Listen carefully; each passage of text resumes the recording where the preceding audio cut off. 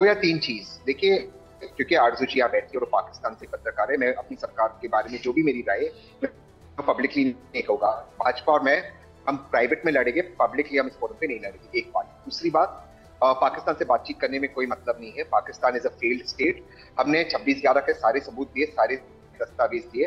पाकिस्तान ने तब तक उसको एक्सेप्ट नहीं किया कि छब्बीस ग्यारह उनकी ज़मीन से हुई थी जब तक वो एक्सपोज नहीं हुए। दाऊद इब्राहिम मोइन पैलेस में रहता है कराची के अंदर। उसका बेटा मोइन सबको पता है संडे कहाँ क्रिकेट खेलता है। उसका बेटे का नाम मोइन है। हम्म। उसके बेटे की शादी जावेद मियादाद की बेटी से हुई। उस शादी के अंदर दाऊद इब्राहिम आए थे। फिर हम्म। भी पाकिस्तान आपको कहेगी कि दाऊद इब्राहिम पाकिस्तान में नहीं रहता। अब हफीज सईद कुछ रीच वो तो पाकिस्तानी सिटीजन था। दाऊद इब्राहिम तो भारतीय है। तब भी पाकिस्तान एक एक नंबर का एक झूठा मुल्क है वो दाऊद इब्राहिम जो एक भारतीय सिटीजन है जो हम्म। भारत में अपराधी है जिसने भारत में बॉम्ब उसको हैंड ओवर नहीं करेगा भारत में। उस मुल्क से बातचीत करते कोई मामले जितने भी हमारे प्रधानमंत्री वज़ीर आज़म है चाहे फिर वो नेहरू जी से लेकर मोदी जी तक सबने मैं किसी प्राइम मिनिस्टर को क्रिटिसाइज नहीं करूँगा सबने कोशिश की कि पाकिस्तान से बात भी करे। मोदी जी को भी किस लिए क्रिटिसाइज किए? वे गए थे, एक अच्छी नीयत से गए थे, पहले टर्म में नवाज़ शरीफ बुलाया था, मिला क्या है? मिला हमेशा धोखा है। पठानकोट में आईएसआई को बुलाया गया। हम्म। मैं उसे इत्तेफाक नहीं रखता हूँ लेकिन आईएसआई को बुलाया गया भारत की पाक ज़मीन पे आईएसआई को बुलाया गया। उसके बाद क्या हुआ? Pakistan is an untrusted country ये वो बात सेकंड लेवल सेकंड क्योंकि मैं एक, एक लाइन एक लाइन कहना चाहता हूँ। हमें हमें उनसे एक सेकंड एक सेकंड एक एक लाइन एक लाइन एक लाइन हमें उनसे चैनल्स इसलिए खुले रखने चाहिए क्योंकि वो एक न्यूक्लियर कंट्री है और चैनल्स हमें एक second second tier conversation behind the scenes वो ठीक है। पाकिस्तान के साथ कोई भी पॉलिटिकल डायलॉग इम्पॉसिबल नहीं हो सकता। गलत है और होना भी नहीं है कि वो वो शायद हो भी रहा होगा। ऐसा नहीं है क्योंकि अगर वो चैनल खुला नहीं रहेगा हो रहा है और वो हो ही रहा होगा। लेकिन ज़फ़र इस्लाम साहब बस एक सेकंड नीलोफर मसूद मैं शुरुआत आपसे करना चाह रही थी लेकिन कुछ टेक्निकल प्रॉब्लम आ गई थी। नीलोफर साहब भाई प्लीज़ मुझे ये बताइए कि यहाँ पर मौजूद हर एक आदमी यही मानता है आरज़ू का अगर मैं छोड़ दूँ वहाँ पाकिस्तान में बैठी है अगर मैं ये ख़त्म करके उनसे फ़ोन पर बात करूँगी तो शायद वो भी यही बात कहेंगे जो तहसीन पुनावाला कह रहे हैं। लेकिन आ, आपकी तरफ़ से आपके पार्टी के प्रेसिडेंट की तरफ़ से बार बार ये वकालत क्यों कि पाकिस्तान से बात होनी चाहिए? वो भी तब हमने 26 ग्यारह देखा पठानकोट देखा उरी देखा। हमने तो हमने तो एक के बाद एक धोखा ही खाया है ना इस आतंकवादी देश से। देखिए रूपिका जी दुनिया में बड़ी बड़ी जंगे हुई इसमें कोई हम्म। शक नहीं है कि वो जंगे जो थी टेबल पर ही फिर डिस्कस किया गया कि हमें आगे स्ट्रेटेजी क्या करनी है। यहाँ पर बीजेपी के प्रवक्ता का भी बैठे हुए हैं। आप उनसे पूछ लीजिए क्या 2014 से लेकर आज तक उनको हैंडल करना आया है जम्मू कश्मीर ये उनकी रॉन्ग पॉलिसीज़ की वजह से जो मिलिटेंसी खत्म हो गई थी ऑलमोस्ट हम्म। आप देख लीजिए चाहे रियासी है चाहे वो कठुआ है चाहे वो पुछ है ये एरिया जो है बिल्कुल दो डिकेट्स तक यहाँ पर कोई ऐसी वारदात नहीं हुई थी लेकिन आज ये लोग जो दस सालों से कुर्सियों पर बैठे हुए हैं क्या इनका ये फ़र्ज़ नहीं बनता है ये एक्सेप्ट करे कि ये फेल हो गए हैं जम्मू कश्मीर को सही मानों में कंट्रोल करना और यहाँ पर पीस लाना।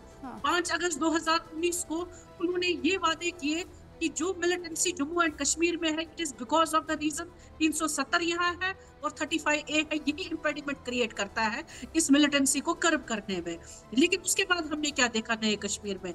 हमने देखा टारगेट किलिंग्स हमने देखा जो हमारे पिलग्रिम्स जिनको जम्मू कश्मीर के लोग अपने कांधों पर उठाकर पर निलोफर निलोफर साहिबा आपने आपने कैसे अपनी आँखों पर पट्टी बाँध ली है मुझे मुझे लगता है मुझे लगता है कि आप मैं, मैं, मैं पूरी बात मेरी मैं पूरी बात आपके अच्छा थर्टी सेकंड्स और देती हूँ। ऑल राइट ठीक है। मुझे थर्टी सेकंड्स दे दीजिए। हाँ ठीक है। वही शरणार्थी जो यहाँ आते हैं वही पिलग्रिम्स जो यहाँ पर आते हैं बदकिस्मती से उनको टारगेट किया जाता है। आम शख्स वो जाए तो जाए कहाँ? न कोई सुनने के लिए है न कोई यहाँ पर उनका मसला कोई हल करने के लिए है। अब जाकर कहीं सिचुएशन अगर थम गई थी पाँच अगस्त दो हज़ार उन्नीस से पहले आप आंकड़े देख लीजिए हम्म। और उसके बाद आप देख लीजिए। There is clear shift of militancy from one peaceful region to other पहले पीसफुल अब ये भी नहीं रहा।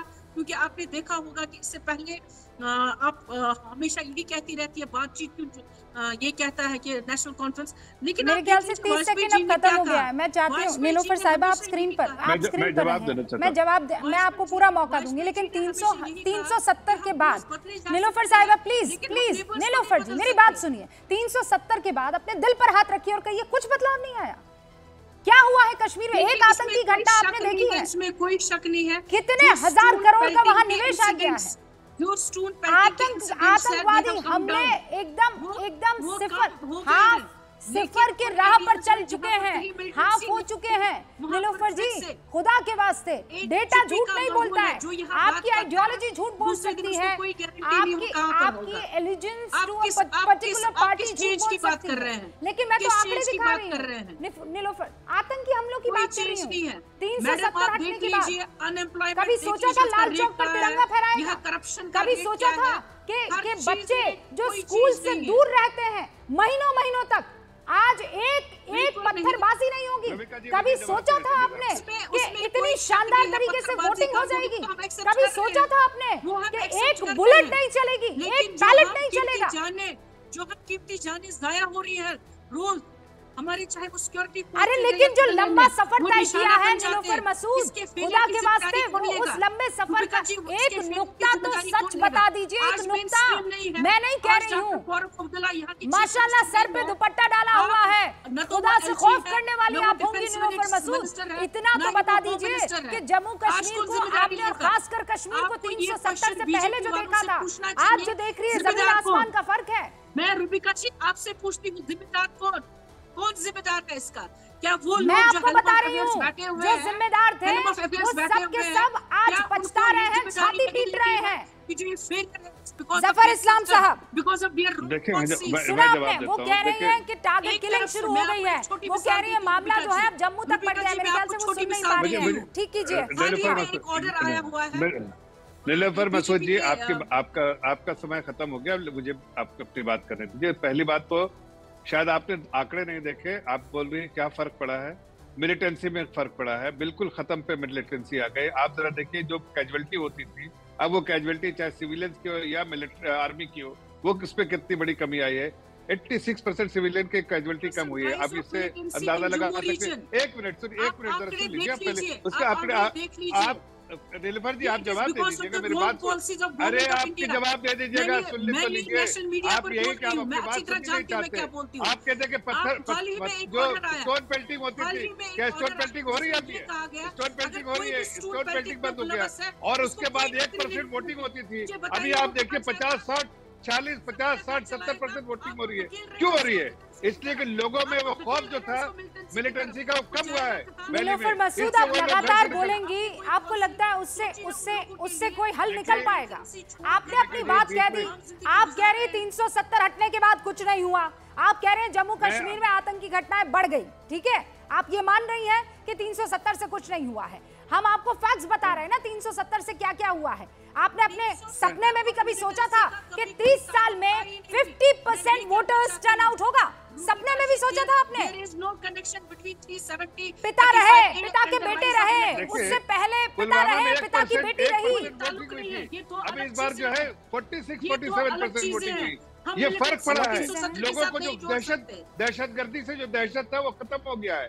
आप खुद अपने आँखों से देख रही है कि वहाँ पर पथराव नहीं होते जो स्टोन पेंटिंग हो? रही है वहाँ पे इन्वेस्टमेंट हो रहा है लोगों को नौकरियाँ मिल रही है।